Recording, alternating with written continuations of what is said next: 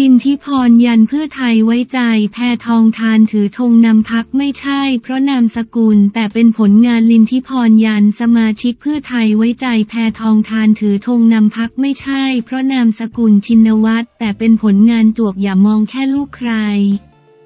มั่นใจดันนโยบายสำเร็จวันที่ 7 เมษายน 67 นางสาวลินทิพร วรินทร์วัชรโรธสสบัญชีรายชื่อ และรองเลขาธิการพักเพื่อไทยกล่าวถึงกรณีคำกล่าวของนายทักษิณ ชินวัตร อดีตนายกรัฐมนตรีว่าน ส แพทองทานชินวัตรหัวหน้าพักเพื่อไทยมี DNA ความเป็นผู้นำมาจากบิดามารดา และสามารถประสบความสำเร็จได้ทางการเมือง จนเกิดกระแสวิพากษ์วิจารณ์นางสาวลินทิพรกล่าวว่าการประสบความสำเร็จของพักเพื่อไทย อยู่ที่นโยบายที่เข้าถึงพี่น้องประชาชน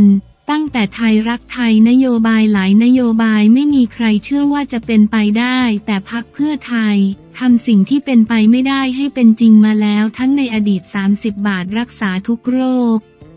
มาถึงในยุคปัจจุบันยกระดับ 30 บาท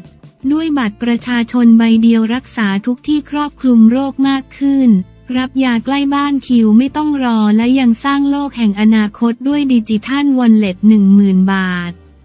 เพื่อสร้างโครงสร้างพื้นฐานทางเศรษฐกิจดิจิทัลให้ประเทศ ในวันที่ 10 เมษายนนี้นางสาวลินทิพรกล่าวว่าผลสำเร็จของนโยบายพักเพื่อไทย เกิดจากการทำงานของบุคคลภายในพัก บวกกับบุคลิกของผู้นำที่เปิดกว้าง รับฟังและเน้นการมีส่วนร่วมคือหัวใจสำคัญของคนเป็นผู้นำอย่างนายทักษิณและนางสาวแพทองทานที่ทุกคนในพักสัมผัสได้ วันนี้คุณแพทองทานหัวหน้าพักเพื่อไทยตั้งแต่เข้ามาเป็นหัวหน้าครอบครัวเพื่อไทยที่สูตรตนเองให้เห็นถึงความเสียสละ และทุ่มเทอย่างต่อเนื่องจนสมาชิกพักยอมรับไม่เกี่ยวว่าจะกำเนิดจากใครแต่ทั้งหมดมาจากผลงานที่ทำและวันนี้คุณอิงพิสูจน์ตัวเอง ในฐานะผู้ผลักดันนโยบายและขับเคลื่อน Thailand Creative Culture Agency THACCA ที่จะทำให้เห็นว่า Soft Power ในชีวิตประจำวันที่คนไทยเองอาจไม่เห็นว่ามีคุณค่า ทั้งดนตรีภาพยนตร์สิ่งทอและอีกหลายแขนง จะมีมูลค่าในสายตานานาชาติอย่างไร นางสาวลินทิพรกล่าวนางสาวลินทิพรกล่าวว่าการที่ผู้นำฝ่ายค้านและนักวิชาการบางคนที่ออกจาก Voice ตีความความสำเร็จของคนเพียงมองจากการเป็นลูกของใครนั้น ไม่สามารถมองเป็นอื่นได้นอกจากการดิสเครดิตด้อยค่าความสำเร็จของพรรคเพื่อไทย ที่ประชาชนสัมผัสได้โดยเชื่อมโยงกับตัวบุคคล และไม่สนใจผลงานที่ผู้นำแต่ละท่านผลักดัน และทำให้เกิดขึ้น จนนำไปสู่การยอมรับของสมาชิกพรรค DNA ของอดีตนายกรัฐมนตรีทักษิณและคุณหญิงพจมานที่หล่อหลอมน สอ แพทองทานขึ้นเป็นหัวหน้าพักเพื่อไทยได้นั้น ไม่ได้อยู่ที่นามสกุลชินวัตรหรือชาติกำเนิดจากใคร แต่อยู่ที่การเลี้ยงดูให้เป็นบุคคลที่กล้าคิด กล้าตัดสินใจแม้จะเคยผ่านประสบการณ์ดูถูกดูแคลนและเป็นเหยื่อหลังการรัฐประหาร แต่หัวหน้าพักเพื่อไทย คนนี้คือผู้ที่สมาชิกพักเพื่อไทยมั่นใจและไว้วางใจให้ถือธงนำพัก เพราะหัวใจเราคือประชาชน นางสาวลินทิพร กล่าว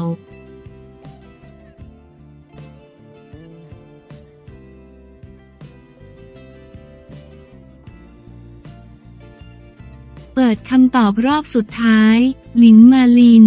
สาวลูกครึ่งไทย สิงคโปร์วัย 27 ชนะใจ กรรมการคว้ามงกุฎมิสแกรนด์ไทยแลนด์ 2024 เรียกว่าเป็นตัวเต็งอีกคนของเวทีการประกวดมิสแกรนด์ไทยแลนด์ 2024 สำหรับหลินมาลินชระอนันต์มิสแกรนด์ภูเก็ต จนในที่สุดสามารถคว้ามงกุฎมิสแกรนด์ไทยแลนด์ 2024 มาครองได้สำเร็จ ในการประกวดรอบตัดสินช่วงค่ำคืนวันที่ 6 เมษายน 2567 หลินมาลินเกิดวันที่ 23 กรกฎาคม 2539 อายุ 27 ปี สาวลูกครึ่งไทยสิงคโปร์เจ้าของส่วนสูง 165 เซนติเมตร สัดส่วน 33 25 35 จบการศึกษาระดับปริญญาตรีการสื่อสารมวลชนภาคภาษาอังกฤษมหาวิทยาลัยธรรมศาสตร์ ก่อนเข้าสู่วงการการประกวดหลายคนรู้จักเธอในฐานะอินฟลูเอนเซอร์สาวที่รับรีวิวเครื่องสำอาง เสื้อผ้าต่างๆนอกจากนี้เธอยังเป็น CEO แบรนด์สกินบอสไทยแลนด์ความสามารถพิเศษร้องเพลงเต้นในรอบ 5 คนสุดท้าย ต้องชิงไหวพริบโดยใช้เวลา 45 วินาที ตอบคำถามที่ว่า ถ้ามีโอกาสบอกนายกรัฐมนตรีเศรษฐา ทวีสินเกี่ยวกับเรื่องการส่งเสริมซอฟต์พาวเวอร์ของประเทศไทย คุณจะเลือกให้อะไรเป็นซอฟต์พาวเวอร์ที่เห็นเป็นรูปธรรม และเพราะอะไรหลินมาลินตอบว่า ซอฟต์พาวเวอร์ที่อยากฝากไปถึงรัฐบาลไทยในปีนี้คือเวทีมิสแกรนด์นเพราะเวทีนี้บนเวทีต่างประเทศเราแทบจะไม่ต้องบังคับนางงามอีก 80 ประเทศให้พูดภาษาไทยเรียนรู้วัฒนธรรมไทย หลิน มาลินกล่าวต่อว่า อีกสิ่งที่สำคัญคือสินค้าของคนไทย สปอนเซอร์ทุกคนที่นั่งอยู่ตรงนี้ทุกคนจะได้รู้จักสินค้าของประเทศไทย และสิ่งที่สำคัญที่สุดคือน้ำพริกปลาสลิดซึ่งยอดขายดีที่สุดในทุกปี หลินมาลิน โดดเด่นในทุกรอบการประกวดในการเปิดตัวเข้าสู่กองประกวดในฐานะมิสแกรนด์ภูเก็ต 2024 สวมชุดย่าหยาพร้อมชูป้าย Get Out David เพื่อแสดงออกว่าเธอไม่เห็นด้วยต่อการกระทำของนายเดวิดกรณีทำร้ายร่างกายแพทย์หญิงที่ จังหวัดภูเก็ต ซึ่งปรากฏเป็นข่าวก่อนหน้านี้ ดราม่าสนั่นหลินมาลินมิสแกรนด์ภูเก็ต 2024 ชุดเว้าสูงแทบปิดไม่มิดหัวใจจะวายหยุดไม่อยู่มิสแกรนด์ภูเก็ตหลินมาลิน ชูป้ายไล่ฝรั่งทำร้ายคุณหมอสาวไม่งงจะงงมาก หลินมาลิน ตัวเต็งคว้ามิสแกรนด์ไทยแลนด์ 2024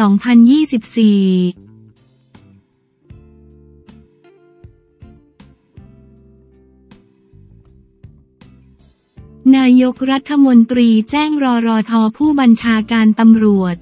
ไม่ได้คุยเรื่องบิ๊กโจ๊กกิตติ์รัฐ แจงคาดสัปดาห์หน้าชัดเจน ฟันวินัย สุรเชษฐ์หรือไม่ เศรษฐา แจ้งรักษาการผู้บัญชาการตำรวจเข้าพบไม่ได้คุยเรื่อง บิ๊กโจ๊ก ปล่อยเป็นไปตามกระบวนการยุติธรรม คืบหน้าจะตอบด้าน กิตติ์รัฐ แจงคาดสัปดาห์หน้าชัดเจน ฟันวินัย สุรเชษหรือไม่ วันที่ 7 เมษายน 67 ที่เทศบาลนครเกาะสมุย ตำบลอ่างทอง อำเภอเกาะสมุย จังหวัดสุราษฎร์ธานี นายเศรษฐาทวีสิน นายกรัฐมนตรีและรัฐมนตรีว่าการกระทรวงการคลัง ให้สัมภาษณ์ถึงพลตำรวจเอกกิตรัฐพันเพชร รักษาการผู้บัญชาการตำรวจแห่งชาติ เข้าพบเมื่อช่วงเที่ยงว่ารักษาการผู้บัญชาการตำรวจแห่งชาติ ไม่ได้มีการรายงานอะไรเพิ่มเติม เกี่ยวกับคดีของพลตำรวจเอก สุรเชษฐ์หักพานรองผู้บัญชาการตำรวจแห่งชาติ ซึ่งเป็นคดีที่อยู่ในความสนใจของพี่น้องประชาชน ปัจจุบันคณะกรรมการที่แต่งตั้งขึ้นได้มีการติดตามอยู่แล้วทั้งสามคน โดยเฉพาะนายฉัดชัยพรมเลิศ ซึ่งเป็นประธานคณะกรรมการชุดนี้ นายกรัฐมนตรีเผยอีกว่า อย่างที่ตนเคยพูดไปแล้วว่าเรื่องนี้เข้าสู่กระบวนการยุติธรรมไปแล้ว ซึ่งการพบกันกับรักษาการผู้บัญชาการตำรวจแห่งชาติวันนี้ได้พูดคุยกันถึงปัญหาของพี่น้องประชาชนเป็นหลัก ไม่ว่าจะเป็นเรื่องของตรวจคนเข้าเมือง การพนันออนไลน์ เราควรหันมาพูดคุยเรื่องนี้กันดีกว่า และตนได้กำชับไปแล้ว ก็ขอให้ทุกอย่างก็ปล่อยเป็นไปตามกระบวนการยุติธรรม จนกระทั่งมีความคืบหน้า และมีการพิสูจน์ทราบความจริงออกมา สื่อควรจะถามเมื่อมีความคืบหน้าจริง ๆ ตรงนี้ไม่อยากให้มีความกดดัน และผมเชื่อว่าทุกท่านทราบดีอยู่แล้ว ว่าเป็นประเด็นที่สังคมมองอยู่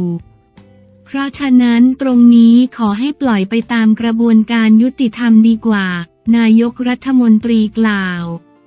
อย่างไรก็ตามช่วงเที่ยงวันนี้รักษาการผู้บัญชาการตำรวจแห่งชาติ ได้ลงพื้นที่ปฏิบัติภารกิจเกาะสมุย จึงเดินทางเข้าพบนายกรัฐมนตรี ระหว่างรับประทานอาหารกลางวันซึ่งได้เปิดเผยกับผู้สื่อข่าวเพียงสั้นๆว่ามาปฏิบัติภารกิจในพื้นที่ไม่ได้มารายงานอะไรเกี่ยวกับคดีของพลตำรวจเอกสุรเชษฐ์